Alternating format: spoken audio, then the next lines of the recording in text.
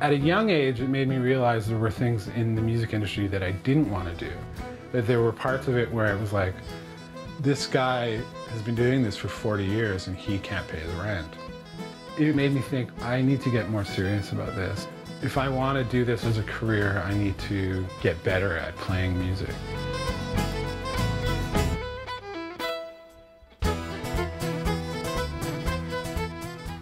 My last year of university, we released our first album.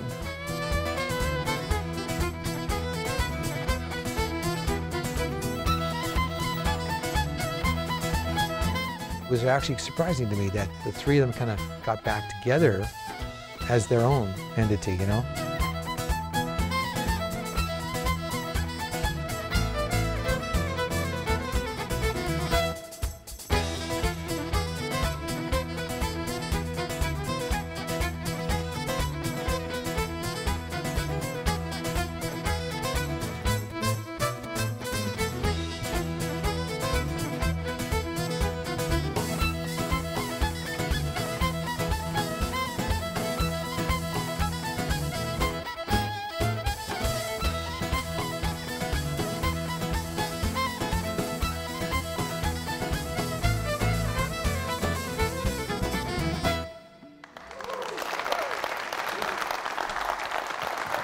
We don't really talk about it that much in the sense like, this is going to be our sound, and we're going to you know do this, we're going to plan it out. It's more organic as far as in the playing, this is how it comes out.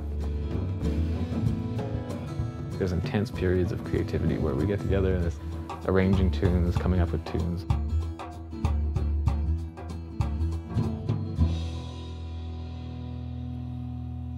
I thought it was good. I thought there were a few little places. I wrote down a few things, but like I thought the intro was a bit sloppy. And I thought the outro there's a bit of movement, but if you and I can hook up with the drums, it will, it will maybe pass.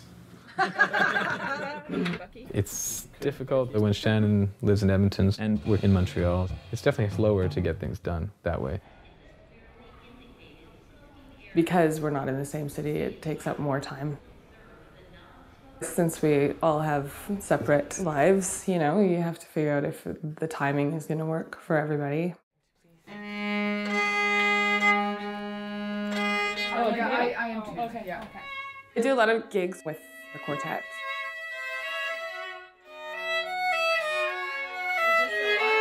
I really enjoy playing with them. I grew up playing classical music and I played in the youth orchestra and with the university orchestra.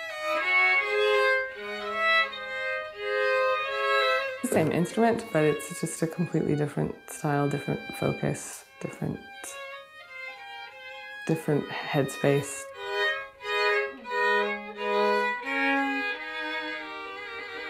It's really fun to play with somebody where you're not actually the center of anything. I guess my responsibilities are less. I don't have to think very much about it. I don't I just go and have a good time.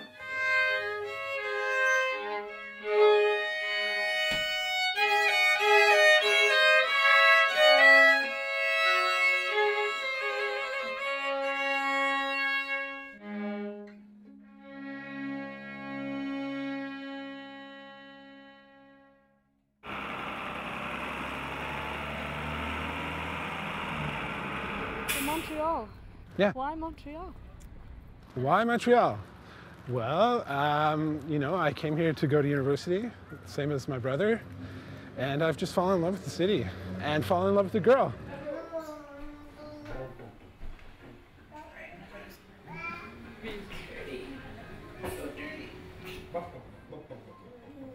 Be good for the camera, Isla. Allison and I met because she put up an ad for a bass player on a poster. But she had this, these guitars and it said Blue Country on it. And I thought, oh, Blue Country, what, what's that? That's cool. I want to know what Blue Country is. And so I, I responded, and now we have a baby. She wasn't super healthy when she was born. She was uh, in the intensive care unit for a week and was four pounds and something. So that was really intense as an experience and uh, emotional and kind of crazy. I was also offered a full time job in Ottawa with the government. It was like a real struggle for me. I didn't know what to do. And I thought, fuck, maybe I should do that because I'm having a baby, you know? And, and I've never applied for a job, I've never had a job. And uh, I applied, got my hair cut, and I bought shoes, which I returned after. you know, I bought like nice shoes, and then uh, rented a car and went out there, and they fucking offered me the job. The freaks. So you didn't take the job? No, I said no. yeah, no, it just didn't feel right. I, I haven't really re- ever regretted that. I just didn't feel.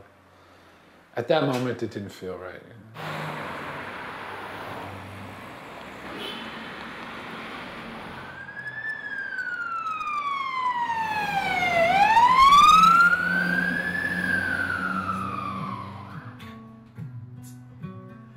like I write a lot of music at home, but sometimes you're writing something and you realize like even if you're thinking about trying to write music for the McDades, it's coming out as something that just is not working for them, but you like what it is. I've got some other side projects, more of a acoustic kind of song album that I that I've been working on for a couple years that has been brewing.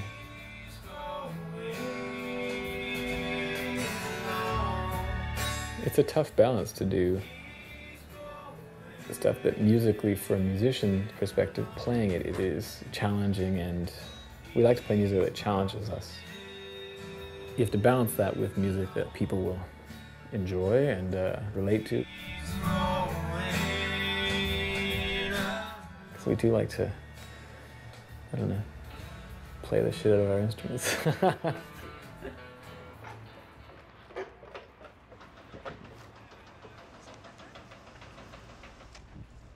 I think what the boys in Montreal inspired them, just the city itself, and uh, lousy with musicians.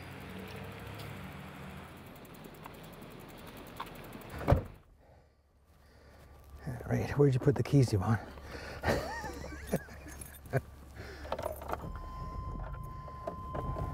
you heard about the drummer that locked his keys in his car, didn't you? No. It took him three hours to get the bass player out.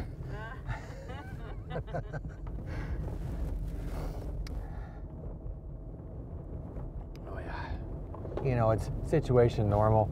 Um, fly in, have a quick bite to eat, and we'll go to rehearsal. Then uh, Bucky, the drummer, is flying in on Thursday in time for sound check. We do a, a whole variety of shows, Oh, but then go. he has his career that he, he's built in Edmonton, and he slots us in as often as possible. It's just this time of year that we have a chance to come back and play with him. Uh oh, here comes Solon. Hey, great to see ya. yeah. Hey, guy. Oh. Hey, our new friend. Hey, great to see you too. Oh, yeah, welcome, welcome. Yeah. Can I carry that and then you get your.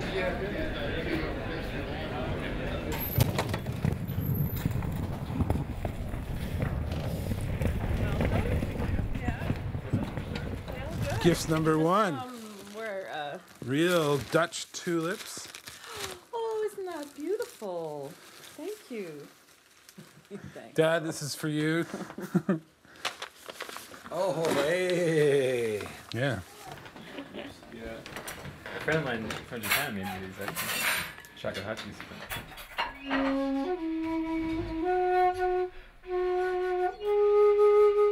Well, come on, I'll, I'll show you um, your quarters. Okay, venez avec moi.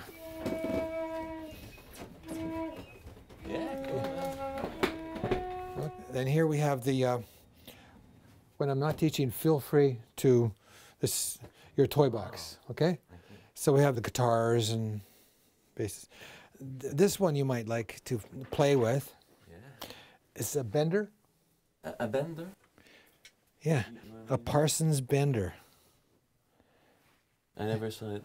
Yeah, yeah. New Clarence, Clarence White, Gene Parsons from the Byrds. Okay. Gene Parsons made this. It's to make a guitar sound like a steel guitar. Okay. life goes on, you get more stuff. Yeah, yeah, yeah, sure. He's got so much energy that it really inspires us. When we're tired, and sometimes traveling especially, you can come back and kind of feel slow. But then as soon as you talk to him, he's always happy and it's all fun, it's all good. He's a real believer that if you are honest about your art, you'll have success. Hi. I got from that music. There's a, there's a Wrote a new song. Fantastic.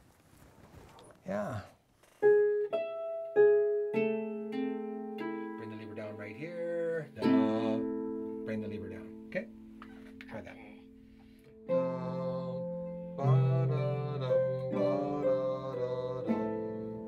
Fantastic.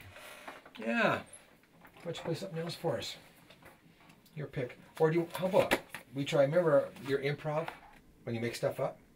Mm-hmm. Would you feel like doing that today? Just improvise. Just play anything that comes into your head. Oh. Okay? You're growing up, and people like, oh, you're Terry McDade's daughter. I've taken guitar lessons from Terry. He's been doing it forever. Our kids grew up with it. They've always had the studio and all this music for six, eight hours a day. If it's meant to be, it'll be. Well, you get home and it's music from 3, 3.30 until 10 o'clock at night, music coming from the basement. He works harder too than like most people I know. He works really hard, and uh, I uh, I really admire that. I'm amazed at it.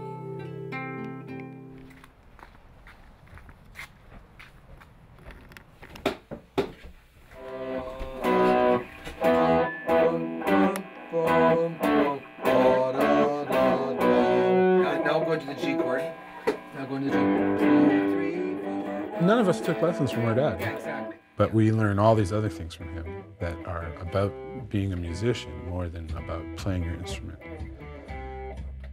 He is a great lover of music, and I think that he inspires people to love music.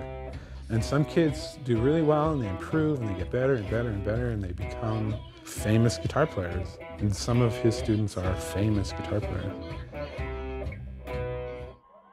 Oh, there they go. Oh, yeah, this is good.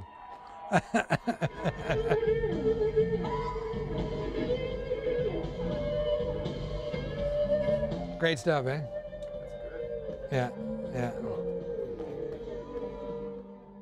There he is, there with one of my students. He took lessons from you for how long? Um, he was about 11 till he was finished grade 12. Wow. You know.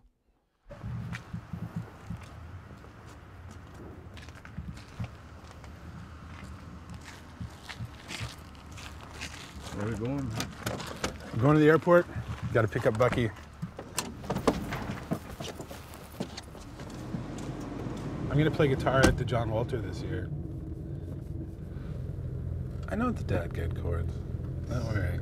Guys I understand the, the theory of it. Hey, theoretically, theoretically, this should sound great, by the way, guys. buddy? Good. Good stash.